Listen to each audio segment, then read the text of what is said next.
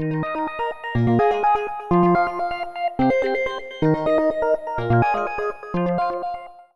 today's Electronics and More video, I'm going to show you how you can easily test the condition of brake fluid in your vehicle in order to determine if you should keep the existing brake fluid or replace it.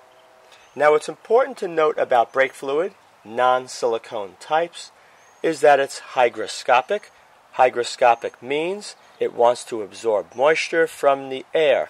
So if you read the side of the bottle, it's going to say make sure the cap is kept very tight and the purpose of that is to prevent moisture from being absorbed into the bottle.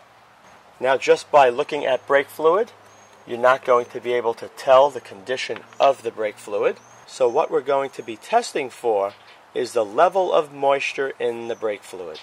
It's very important that the moisture content of the brake fluid is as low as possible. The brake fluid is designed to have a very high boiling point, and if the brake fluid has absorbed a fair amount of moisture from the air, what's going to happen, the boiling point is going to become lower.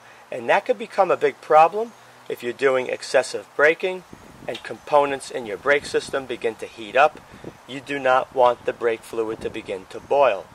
You also have the problem that moisture inside the brake fluid can lead to corrosion of brake components.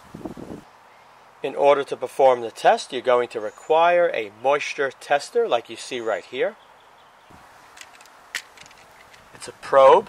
You take this, insert it into the brake fluid, push the button on the end, and you're going to have an indication of the water content in the brake fluid. So if you look right over here, that's 0%, which is green.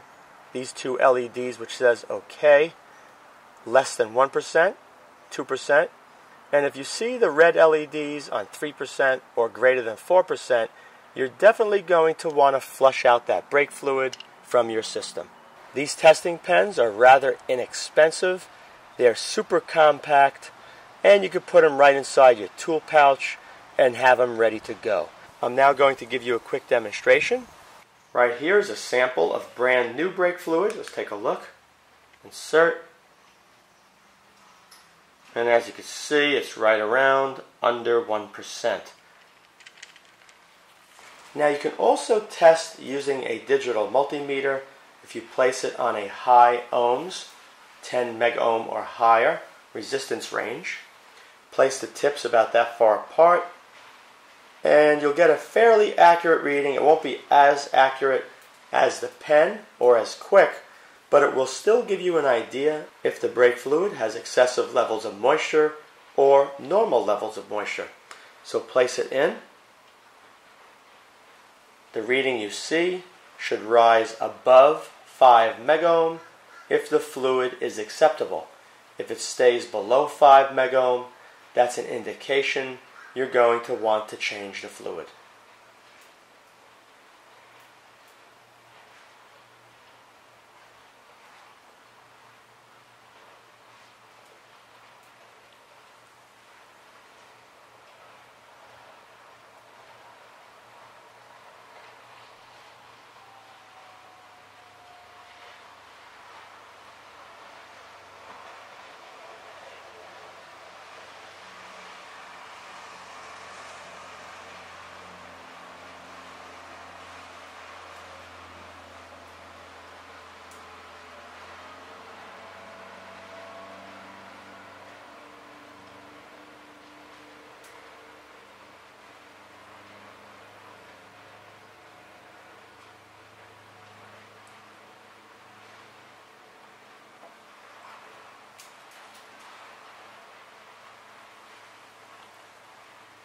And as you can see, it's rising up and above the 5 megohm range.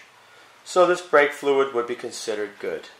Now let's take a reading on the vehicle to see how it compares to the brand new brake fluid, which gives us a reading of just under 1%.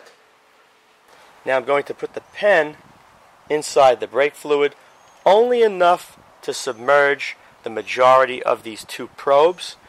And you can see the probes are about 3 16ths of an inch apart. I could push the button first. You can see there's a green LED. I want to make sure I do not see any red showing up. If I do, I'm going to have to flush the system. Here we go. And as you can see, it's not looking good. It's showing the last one lighting up at 4. Now that I know this brake fluid needs to be replaced, the next step, you're going to suction out the brake fluid from this reservoir. I'll place it inside here.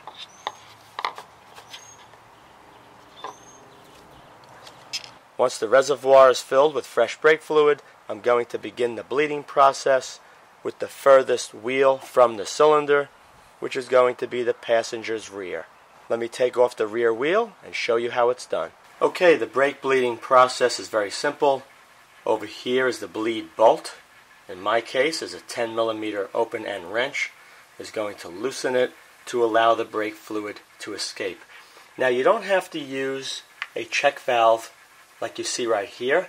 I'll place a link in the video description area if you want one of these. It makes it very simple to bleed the brakes by yourself. But if you don't have a check valve, you can use a straight piece of vinyl tubing. Make sure the end of the tubing is submerged inside brake fluid because what's going to happen as you push down on the brake pedal, the fluid is going to move forward.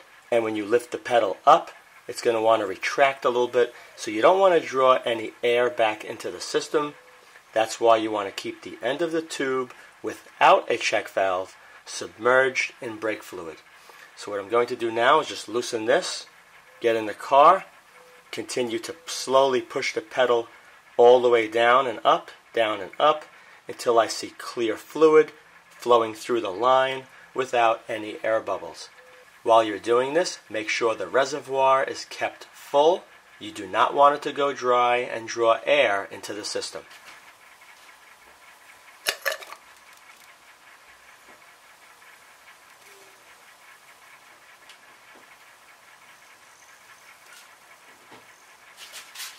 And as you can see, after pushing the pedal a few times, the line is full of liquid. There's some air right here.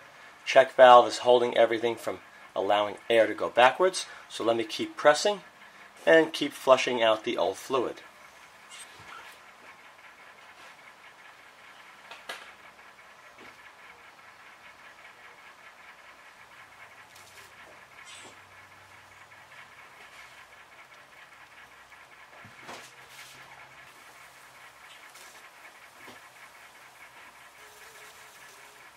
Once this is complete, you're going to tighten the nut remove this